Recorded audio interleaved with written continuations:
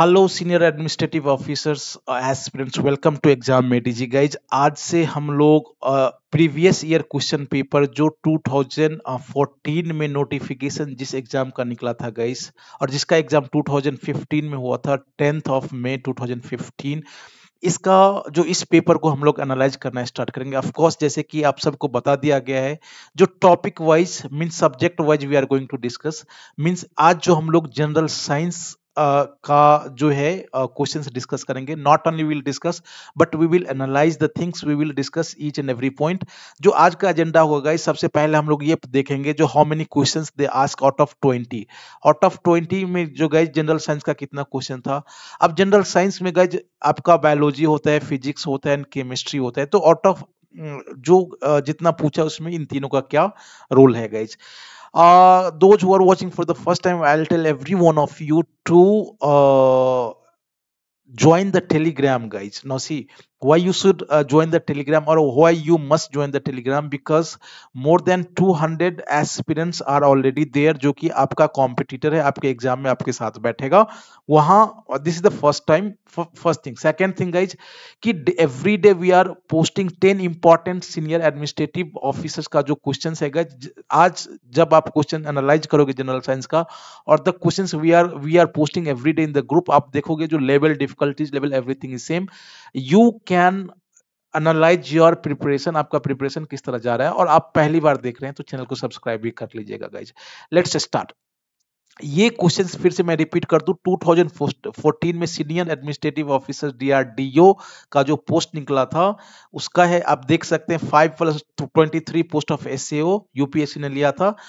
और इसका हम लोग जनरल साइंस का देखेंगे. So guys let us start जो आज का जो पहला क्वेश्चन है गाइज़ सबसे पहले मैं आपसे ये कहूँगा नौसी 51 से ये क्वेश्चन स्टार्ट हो जाता है जनरल साइंस का राइट 51 टू 65 जो है गाइज़ ये क्वेश्चंस आपका जाता है मींस ऑलमोस्ट 15 क्वेश्चंस जो है आपका जनरल साइंस का है। आउट ऑफ़ ऑफ़ कोर्स जैसे हम लोग देखेंगे, जैसे कि पंद्रह one twenty out of one twenty fifteen जो क्वेश्चन है गाइज़ ये this is from general science it is use you cannot ignore this section right it is very important it is at most important right out of uh, जो 15 है biology का कितना है guys physics का कितना है और केमिस्ट्री का कितना है? तो एनालाइज जब हम देखते हैं तो three questions are from biology physics से ऑलमोस्ट सेवन टू एट आप कह सकते हो और जो रिमेनिंग फोर क्वेश्चंस और फाइव क्वेश्चंस आप कह लो जो साइंस से है राइट तो इस तरह से इसका वेटेज है. It is very important so let us start अब लेक्चर को बिल्कुल अंत तक देखें. Reason because then you will understand what kind of question आपके प्रीवियस ईयर क्वेश्चन में पूछा गया. एग्ज़ाम में पूछा गया है। The first question is the commercial silk is obtained from the cocoon secreted by salivary salary gland of इसमें से कह रहा है, जो किस कहाँ से किस किसके means the commercial silk is obtained from the cocoon secreted by salary glands of which which one of these, right? तो पहला तो है जिस स्पाइडर है, दूसरा जो है बॉम्बिक्स मोराई, इसका आंसर बी ही हो जाएगा, क्या हो जाएगा? बी हो जाएगा, राइट? नाउ नेक्स्ट क्वेश्चन है guys which is, which one among the following does not belong to algae thallophyta right? तो इसका जो आंसर हो जाएगा गाइज़ इसका हो जाएगा फ्यूनेरिया सी आंसर हो जाएगा। क्या हो जाएगा? फ्यू सी हो जाएगा। नेक्स्ट क्वेश्चन है guys which one of the following uh, is present in both xylem and xylem and uh, phloem तो इसका जो आंसर हो जाएगा गाइज़ ये पैरनेकमा uh, हो जाएगा। पैरेनिक पैरेनिकमा राइट इसका आंसर डी हो जाएगा। तो ये तीनों जो आपने देखा, ये बिल्कुल बेसिक क्वेश्चन है बायोलॉजी से क्वेश्चन दिया गया है गाइज़ नेक्स्ट क्वेश्चन है, जो अब आपका फिजिक्स स्टार्ट हो रहा है right now see how simple questions they have asked P H Y S I C S right physics अब the stars twinkle in the sky because the light coming from the stars passes through air having gradually changing अब किसके कर, कह रहा है जो आकाश में तारे टिमटिमाते हैं? ठीक है, क्योंकि तारों से आने वाला प्रकाश उस हवा से होकर गुजरता है जिसमें क्रमशः परिवर्तित होता है। क्या? तो 54 का जो आंसर हो जाएगा, जी, ये refractive index right answer A हो जाएगा, इसका आंसर ए हो जाएगा। 55 जो क्वेश्चन है guys a piece of wood is placed first in a vessel containing water and then in a vessel containing saline water which one which one observes what one observes is that the piece of wood ये कह रहा है नौसी एक लकड़ी के टुकड़े को आप एक कंटेनर में डालते हो जिसमें पानी है और इसके बाद ऐसे जगह डालते हो जहाँ नमकीन पानी है, खारे का पानी है राइट तो अब जो जो पीस ऑफ़ वुड है उसमें क्या आप ऑब्ज़र्व क्या करते हो राइट तो आप सबको पता होगा Nausi it is very it is easier to swim in sea समुद्र में तैरना आसान होता है क्योंकि उसका जो पानी होता है गाइज़ उसमें नम, नमक होता है एंड द डेंसिटी इज़ ज़्यादा होता है राइट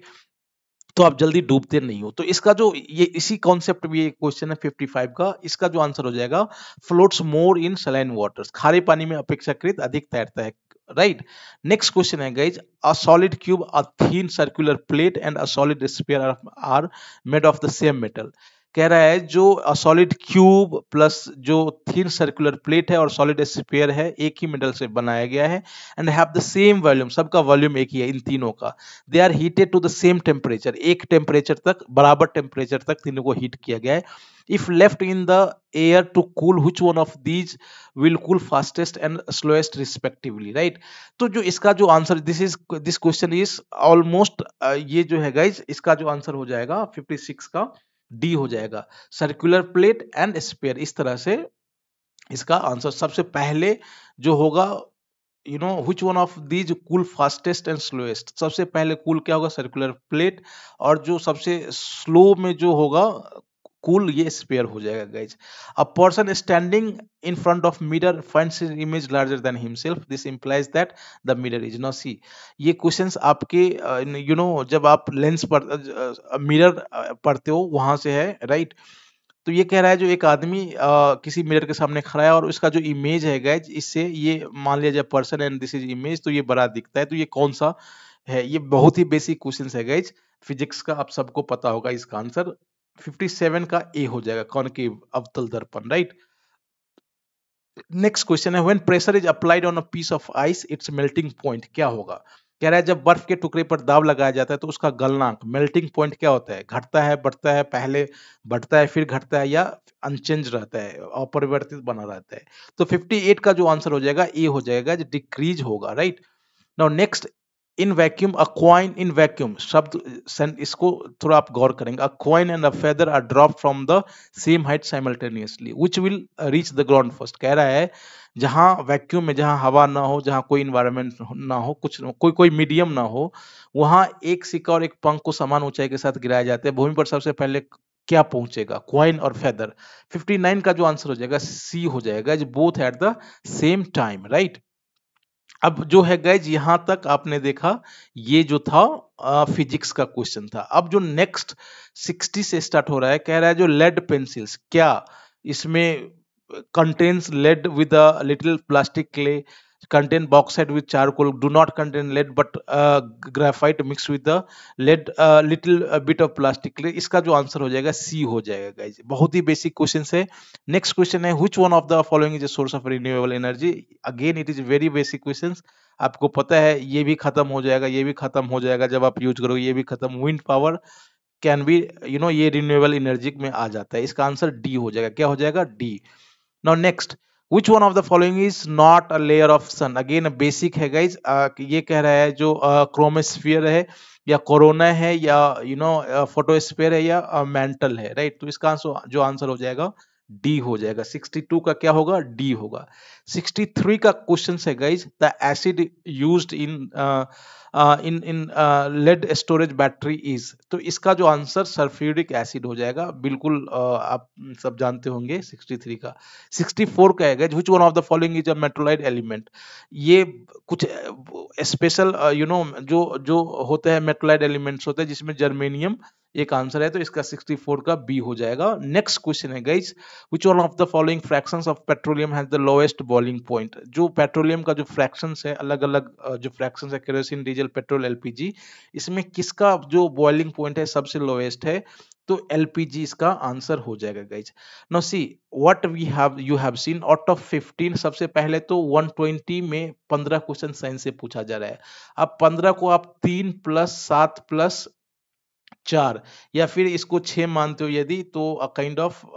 sorry sorry five यहाँ हो जाएगा। यदि आप इसको छः मानते हो तो यहाँ छः मानना पड़ेगा। बिकॉज़ जो सन वाला है either you can put in physics और केमिस्ट्री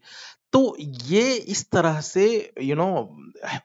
इसका है डिवीज़न है। एंड क्वेश्चन आर जो नेचर में बहुत ही बेसिक है गाइज़ एवरीडे यूज़ में जो आप यू नो साइंस का जो एवरीडे यूज़ होता है, कहीं ना कहीं इसी टाइप का क्वेश्चन है। तो I will request every one of you I will recommend every one of you कि ज्वाइन कर लो आप टेलीग्राम ग्रुप वहाँ डेली हमारी टीम है गाइज़ अलग अलग सब्जेक्ट एक्सपर्ट्स वहाँ क्वेश्चन डालते हैं every day right without miss अब तक जो जिसने शुरू से यू नो ज्वाइन किया, उसमें बहुत ज़्यादा इम्प्रूवमेंट है, वहाँ आप you know you can join it if you are interested in study material और नोट्स तो हमारी जो टीम है गैज हम लोगों ने सब्जेक्ट एक्सपर्ट से हेल्प लेकर के S A O senior administrative officers के लिए study material plus test series निकाला है if you want that you have to call और WhatsApp six three eight five eight zero three three seven six पे आप call करो right right? अब S से रिलेटेड कोई भी डाउट हो गई एक प्ले लिस्ट है सीनियर एडमिनिस्ट्रेटिव ऑफिसर्स उस पर बहुत सारा video already you know uploaded है, उसको आप जाके देख लो। थैंक्स थैंक्स फॉर वॉचिंग कल हम लोग फिर कोई दूसरे सब्जेक्ट का प्रीवियस ईयर क्वेश्चन पेपर को एनालाइज करेंगे। State and prepare well thanks thanks for watching